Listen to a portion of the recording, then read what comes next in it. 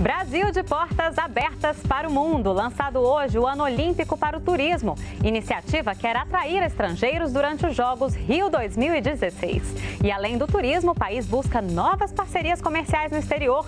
Esta semana, a presidenta Dilma vai à Colômbia para ampliar acordos. E veja também, FGTS vai investir mais de 8 bilhões de reais no Minha Casa Minha Vida. Os recursos do fundo vão financiar moradias para famílias de baixa renda. E ainda nesta edição, minha Casa Minha Vida atende mais de 11 mil pessoas na Bahia. Presidenta Dilma Rousseff reafirma compromisso de manter o programa. O NBR Notícias começa agora.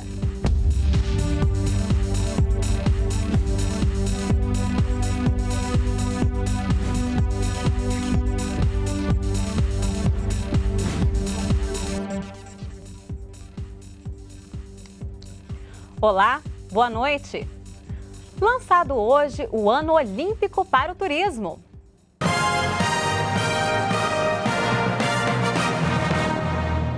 O evento é um marco na preparação do setor para os Jogos Olímpicos e Paralímpicos Rio 2016, especialmente para o revezamento de tocha olímpica, que percorrerá mais de 300 cidades. A presidenta Dilma Rousseff participou do lançamento. 15 mil atletas de 205 países, 25 mil jornalistas do mundo todo e uma estimativa de 300 mil visitantes estrangeiros. Os números revelam o potencial turístico das Olimpíadas, que vão ser sediadas pela primeira vez no Brasil e na América do Sul no ano que vem. O Rio de Janeiro, palco principal dos Jogos, já dobrou a capacidade hoteleira, revitalizou a cidade cidade e promoveu melhorias na mobilidade urbana, em parceria com o governo federal. As ações de preparação do Rio e das outras 300 cidades do país por onde a tocha olímpica vai passar nos 100 dias que antecedem os Jogos foram destaque no lançamento do Ano Olímpico para o Turismo, nesta quarta-feira em Brasília. Os Jogos Olímpicos, eles vão perpassar todo o imaginário de cada um dos brasileiros. Primeiro, porque a tocha olímpica percorrerá 300 municípios em um ritual de 100 dias anteriores à abertura dos Jogos. Isso vai mobilizar em todos os cantos do Brasil a atenção das pessoas e vai permitir que nós mostremos ao mundo as belezas naturais e a diversidade cultural do nosso imenso território. Durante o evento, a presidenta Dilma Rousseff destacou que o turismo é um dos setores que mais tem a ganhar com as Olimpíadas, momento em que os olhos do mundo estarão voltados para o Brasil. Nós hoje passamos por alguns momentos de dificuldades econômicas, elas são conjunturais, nós temos todas as condições de superá-las. O país hoje é mais robusto, o país, o país hoje tem mais flexibilidade, mais resiliência do que em qualquer momento de crises anteriores. Tenho certeza que a atividade turística é uma forma de construir também o otimismo em nosso país. O hino nacional, executado por um acordeão do Paraná e uma sanfona do Rio Grande do Norte, não deixa dúvidas da diversidade que espera o turista de norte a sul do país. O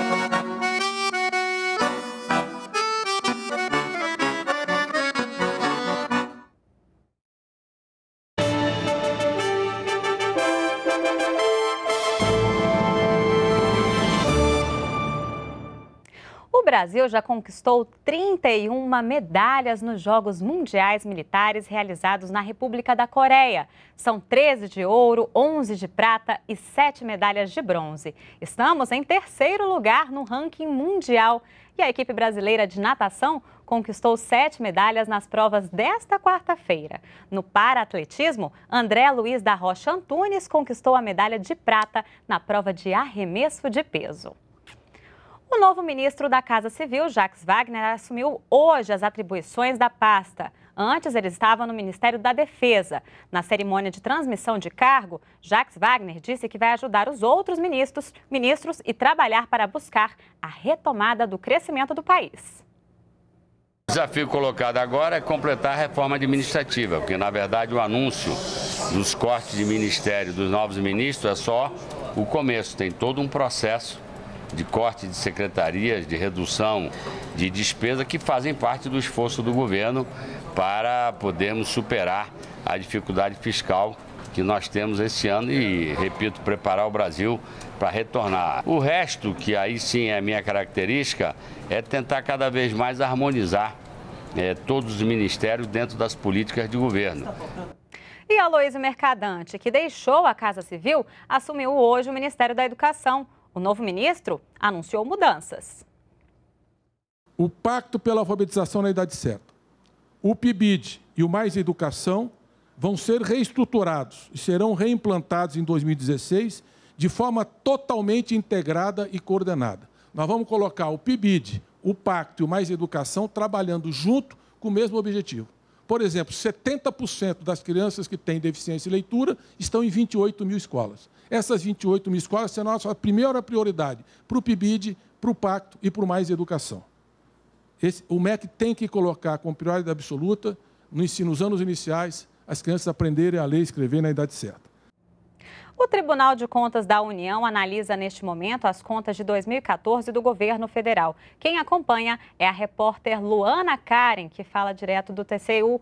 Olá, Luana, boa noite a você. Boa noite, Isabela. Boa noite a todos. A sessão do TCU começou pouco depois das 5 da tarde. Os ministros estão avaliando se houve irregularidades na gestão dos recursos. O ministro, o advogado-geral da União, Luiz Inácio Adams, falou agora há pouquinho e defendeu a prestação de contas apresentada pelo governo. Ele disse que o debate ganhou contornos políticos, quando na verdade é um debate técnico. O governo afirmou que foram liberadas verbas para programas sociais no ano passado por meio de decreto, mas que isso não feriu a lei de responsabilidade fiscal. O ministro da Casa Civil, Jacques Wagner, disse esperar que a prestação de contas seja aprovada no tribunal. É evidente que a expectativa é da aprovação, mas temor do ponto de vista do que alguns tentam falar, de conexão disso com a grita de alguns segmentos da oposição em relação ao impeachment, não. Porque mesmo que haja é, rejeição de conta, que eu espero que não aconteça, ele não é sustentação para nenhum pedido de processo. Está muito claro na lei, o ex-presidente do Supremo, ministro Ares Brito, já deu declarações muito contundentes acerca disso.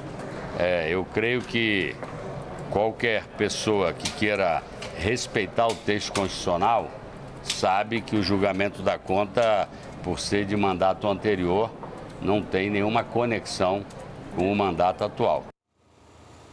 Mais cedo, os ministros do TCU analisaram o pedido de afastamento do relator, ministro Augusto Nardes. O governo argumenta que Augusto Nardes emitiu opinião diversas vezes enquanto o processo ainda estava em andamento e também teria antecipado o seu parecer. Segundo o advogado-geral da União, Luiz Inácio Adams, a conduta é proibida pelo regimento interno do TCU e pela lei que regulamenta a atuação dos ministros do tribunal.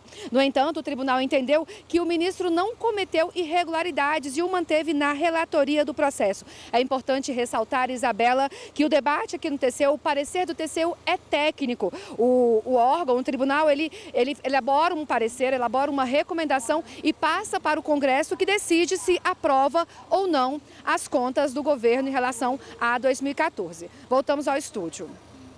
Ok, Luana, muito obrigada pelas informações ao vivo aqui no NBR Notícias. Foi adiada mais uma vez a votação prevista para hoje no Congresso Nacional sobre a manutenção dos vetos presidenciais em matérias que aumentam os gastos públicos. Entre os vetos, dois têm grande impacto no orçamento: o reajuste salarial dos servidores do Judiciário em até 78% e a vinculação do reajuste do salário mínimo aos benefícios de aposentados e pensionistas. Apenas esses dois vetos representam mais de 47 bilhões de reais aos cofres públicos pelos próximos quatro anos. E em entrevista à Rádios da Bahia, nesta manhã, a presidenta Dilma Rousseff falou sobre o momento político e a necessidade de respeito à democracia. Eu acredito que o Brasil tem uma democracia que ainda é jovem, mas é uma democracia robusta. A base dessa democracia é o voto direto nas urnas. É impossível a gente achar que nós fazemos um serviço para a democracia do país, tentando métodos para encurtar a chegada ao governo. O único método reconhecido para se chegar ao governo é o voto direto nas urnas. A presidenta Dilma Rousseff sancionou o projeto de lei que amplia de 15% para 20% até o final de 2018 a alíquota de contribuição social sobre o lucro líquido dos bancos brasileiros. O ajuste vale para bancos, seguradoras, administradoras de crédito, corretoras de câmbio e instituições financeiras. Além do FGTS, a lei que ampliou a proteção para os trabalhadores domésticos também garantiu o direito ao seguro-desemprego. Conheça as regras para acessar o benefício na reportagem de Luana Karen. Todo empregado doméstico que for demitido sem justa causa tem direito a seguro-desemprego. Eles passaram a ter a garantia desde a regulamentação da emenda constitucional que ampliou a proteção para esses trabalhadores no início deste mês. Com a nova legislação, os empregados domésticos têm direito a três parcelas de seguro-desemprego no valor de um salário mínimo. O benefício deve ser solicitado entre 7 e 90 dias a partir da dispensa do trabalhador nos postos do Ministério do Trabalho. Mas, para receber o seguro, é preciso cumprir alguns requisitos. Um deles é ter trabalhado como empregado doméstico por pelo menos 15 meses nos últimos dois anos. O trabalhador também deve estar inscrito como contribuinte individual da Previdência Social e ter feito, no mínimo, 15 contribuições para o INSS e 15 recolhimentos ao FGTS.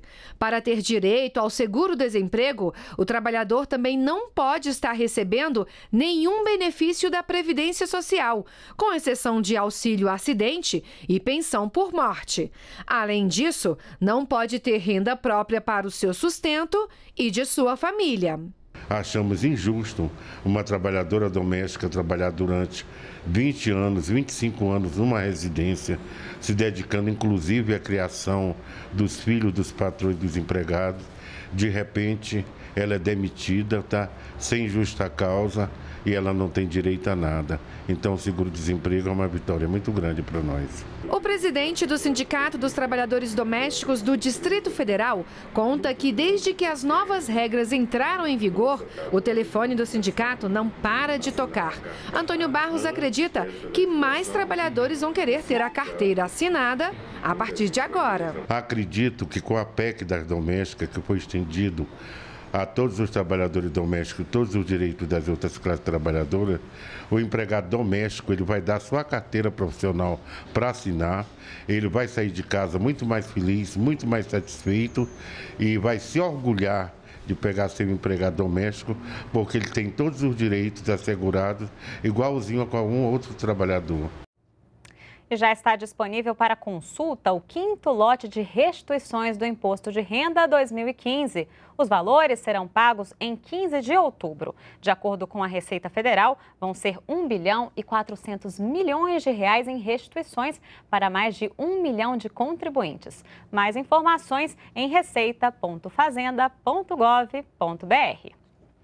Na última década, a relação comercial entre o Brasil e a Colômbia cresceu 165% e é para ampliar ainda mais o comércio entre esses dois países que a presidenta Dilma Rousseff visita o país nesta sexta-feira. Centro de Bogotá, região comercial, 10 horas da manhã. A cidade acorda cedo e as ruas já estão lotadas de gente vendendo e, é claro, comprando ropa, calzado, lo que nos gusta a las mujeres. En general, para la casa, para los niños, personales. Com uma população de quase 47 milhões de pessoas, a Colômbia é o segundo país mais populoso da América do Sul e a terceira maior economia do continente. Hoje, os nossos vizinhos ocupam o sétimo lugar como parceiro comercial do Brasil na América do Sul. Mas há espaço para aumentar essa relação. É uma população que, de acordo com o que disse o presidente Santos, este ano é uma população majoritariamente 55% classe média na Colômbia. Pouca gente sabe isso no Brasil. É a economia que mais cresce na América do Sul. Então, obviamente, isso aqui é um potencial tremendo. Na última década, a relação comercial entre Brasil e Colômbia cresceu 165%. Em 2014, o comércio entre os dois países ultrapassou os 4 bilhões de dólares. Mais de 70% desse valor vem de produtos industrializados, que são bens produzidos em larga escala, como é o caso, por exemplo, dos automóveis. A Colômbia também compra do Brasil ferro, aço, produtos químicos e orgânicos, além de aparelhos e materiais elétricos.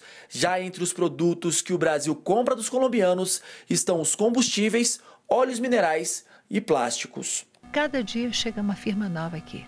Muito interesse e muito diversificado. Uh, na área de construção, na área de cosméticos, uh, na área de tecnologia, vários. E também a Colômbia, essa é outra coisa que pouca gente sabe. A Colômbia também tem investimentos importantes no Brasil, sobretudo na área energética. A visita que a presidenta Dilma Rousseff faz à capital colombiana nesta sexta-feira tem como principal objetivo reforçar os laços comerciais entre os dois países. A Colômbia é hoje uma das economias mais dinâmicas da América do Sul. E o Brasil precisa promover uma maior integração comercial com a Colômbia.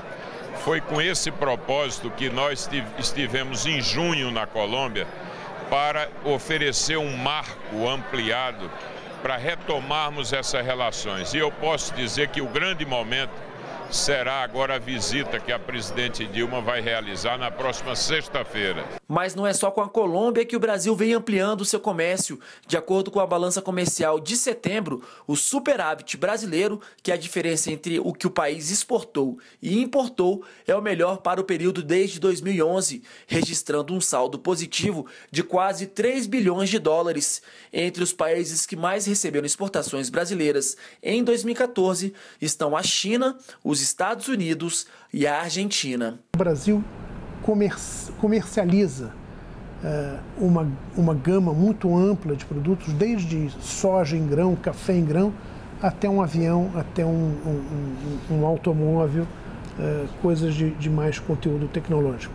Uh, e comercia com, comercializa com países em todos os continentes. Áreas de exploração e produção de petróleo e gás natural foram licitadas hoje pela ANP, a Agência Nacional de Petróleo. Participaram da licitação 36 empresas nacionais e internacionais. Foram arrematados 37 blocos, localizados tanto em bacias em estágio inicial de exploração, quanto em bacias que já produzem petróleo e gás natural. Das 17 empresas vencedoras, 11 são brasileiras. A rodada garantiu ao país, então, entre os investimentos mínimos previstos para os primeiros anos de exploração e a quantia que deve ser paga na assinatura do contrato, cerca de 340 milhões de reais. A questão da exploração de gás em terra surge como destaque nessa rodada, uh, através do resultado que nós tivemos numa bacia de novas fronteiras, que é a bacia do Parnaíba, uh, com os blocos adquiridos no estado do Maranhão. Uma outra questão que se apresenta é a continuidade das ofertas nas bacias maduras, como oportunidade de negócio para pequena e média empresa. Então, num ambiente como esse, onde nós estamos precisando de investimento, onde ah, o preço do óleo está baixo, etc., o desempenho da pequena e média empresa interessada em áreas, em pequenos blocos nas bacias maduras, vão também surgindo como um ponto de destaque para nós. Segundo a ANP, a assinatura dos contratos está prevista para dezembro. Quase 2.800 famílias receberam hoje na Bahia moradias do programa Minha Casa Minha Vida. A presidenta Dilma Rousseff participou da distribuição de chaves em Barreiras. A cerimônia aconteceu simultaneamente aos eventos de entrega de unidades habitacionais em outras três cidades baianas: Feira de Santana, Irecê e Dias Dávila. Dois quartos, sala, cozinha, banheiro e área de serviço numa área de aproximadamente 43 metros quadrados. Essa é a estrutura de cada uma das 1.476 casas entregues hoje a famílias de baixa renda de Barreiras, cidade do oeste da Bahia, que tem cerca de 150 mil habitantes. A dona de casa, Adriana dos Santos Nascimento, de 34 anos, foi uma das contempladas Mãe de cinco filhos, ela tem uma renda de 350 reais por mês, recebe o Bolsa Família e mora nessa casa de dois quartos, além dos filhos, com a mãe, a irmã e os sobrinhos, num total de 12 pessoas. Para dormir aqui é um sacrifício, viu? Por quê? Porque tem uns que dormem na cama, tem uns que dormem aqui no tapete. É muita gente. Né? Não é o quê? Fazer o quê, né? Adriana foi uma das primeiras a assinarem o contrato da Casa Nova. Ela diz que não vê a hora de ir logo para o residencial. Estou muito feliz logo em logo mudar para minha casa. O residencial São Francisco recebeu investimentos de 88 milhões de reais e tem infraestrutura completa, rede de água, esgoto e energia elétrica, acesso ao transporte público e acessibilidade para pessoas com deficiência. E ao mesmo tempo em que os futuros moradores aqui do residencial São Francisco, em Barreiras, receberam as chaves da Casa Nova, foi feita a entrega de unidades habitacionais em outras três cidades da Bahia. Feira de Santana, Irecê e Dias Dávila. No total, 2.781 residências foram entregues hoje no estado, todas pela faixa 1 do programa, para famílias que têm renda de até R$ 1.600 por mês. Além das mais de 1.400 casas em Barreiras, foram entregues 732 residências em Feira de Santana, no residencial parque da cidade. 452 moradias no loteamento Professora Ieda Dourado 3, em Irecê, e outras 121 unidades habitacionais no residencial Leandrinho, em Dias Dávila. O investimento total nesses empreendimentos foi de 169 milhões de reais. Desde o início do Minha Casa Minha Vida, já foram entregues na Bahia mais de 157 mil moradias. Eu me emociono quando eu vejo uma família que vai passar a ter a segurança de saber que ali, naquele espaço, que não é só o tijolo, o cimento, a massa corrida, a tinta na parede, mas que é um lugar onde se constrói afetos, carinho, onde a gente se recolhe, onde a gente protege a família, os filhos e onde a gente vive.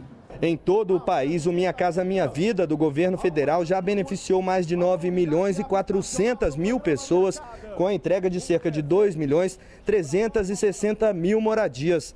Desde o início do programa, os investimentos na construção de moradias populares alcançaram a marca de 270 bilhões de reais. A presidenta Dilma Rousseff reafirmou que vai lançar em breve a fase 3 do programa Minha Casa Minha Vida, eu quero dizer para vocês que o Minha Casa Minha Vida vai continuar. Nós vamos fazer o Minha Casa Minha Vida 3. Nós vamos continuar com o que falta entregar do Minha Casa Minha Vida 2. Dos 4 milhões, nós já entregamos 2 milhões e 300, mais de 300 mil casas. Então está faltando entregar 1 milhão e 600 mil. Mas nós vamos entregar essa parte. E vamos lançar o Minha Casa Minha Vida 3. Aquela parte da população que mais precisa é aquela que o governo vai dar suporte, vai apoiar.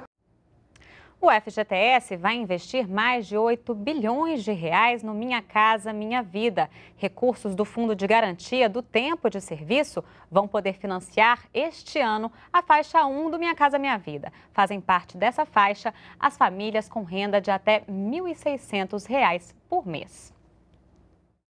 Estes recursos, e o Conselho aprovou, é, é, emprestam, carregam 80, até 80% de subsídios, limitado a 45 mil reais.